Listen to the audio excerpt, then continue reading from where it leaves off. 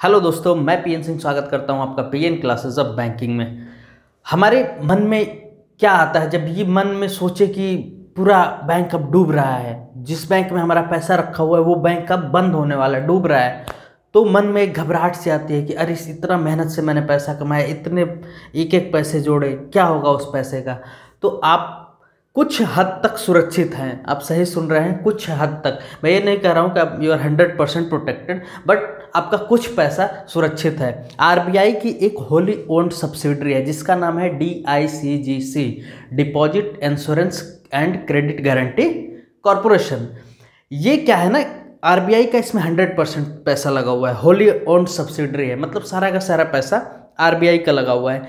इसमें, इसका क्या काम है ना कि जो बैंकों में आपका पैसा रखा हुआ है, उस पैसे को ये प्रोटेक्ट करता है। पहले ये लिमिट एक लाख तक थी, पहले ये लिमिट एक लाख तक थी। लेकिन अब इस लिमिट को बढ़ा करके पाँच लाख सरकार ने कर दिया है कि भैया, अगर पाँच लाख तक आपका किसी बैंक में पैसा है, अगर बैंक डूब जाता है लिक्विडेशन प्रोसेस में चला जाता है। लिक्विडेशन प्रोसेस का क्या मतलब है? कि बैंक का लाइसेंस कैंसिल हो गया। अब उसकी जो संपत्ति है, उसको बेचा जा रहा है और बैंक को फाइनली बंद कर दिया जाएगा। तो इसमें क्या होगा कि जो उसके डिपॉजिटर्स हैं, उनको पाँच लाख रुपए सबसे पहले प्रोवाइड कराया जाएगा। कैसे प्रोवाइड कराया जाएगा? कितने दिनों में प्रोवाइड कराया जाएगा? सबसे मन में ये सवाल आ रहा होगा ना।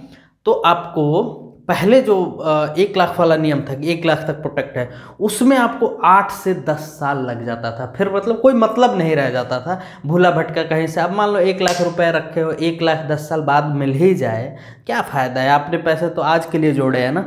तो बहुत टी और लंबा प्रोसेस था, लेकिन अब सरकार ने कहा है कि नहीं, इस पैसे को आपको 90 दिनों के अंदर सेटल करना होगा। जो भी क्लेम आएँगे, सबका 90 दिनों के अंदर सेटलमेंट होना चाहिए। अब ये भी तो दिमाग में आ रहा होगा ना कि डी क्यों पैसा देगा? डी क्यों पैसा देगा? उसका क्या है? हमने तो कोई इंश्योरेंस कराया ही नहीं था।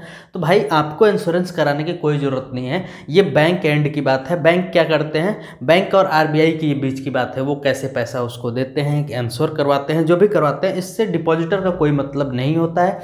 जो भी प्रीमियम होता है, जो भी सब बैंक अपने स्तर से उसको पे करता है। डिपॉजिटर को उसको, उसका इंटरेस्ट मिलता रहता है। जी हाँ डिपॉजिटर को उसको, उसका इंटरेस्ट मिलता रहता है। अब क्या सरकारी बैंकों में ही सिर्फ़ ये सुविधा है? नहीं आरबीआई सिर्फ़ सरकारी बैंकों को गवर्न नहीं करता है। भारत में जितनी बैंकिंग जितने भी बैंक हैं, सबको आरबीआई ही गवर्न करता है। और जिनको आरबीआई गवर्न करता है, उनके सारे पैसे सुरक्षित हैं।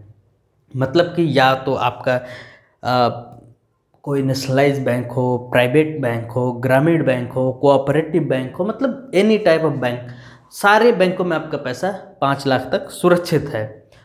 तो कैसी लगी आपको ये जानकारी? कमेंट करके बताइएगा। अच्छा लगे तो वीडियो को लाइक करिएगा और चैनल को सब्सक्राइब करिएगा। चलिए बाय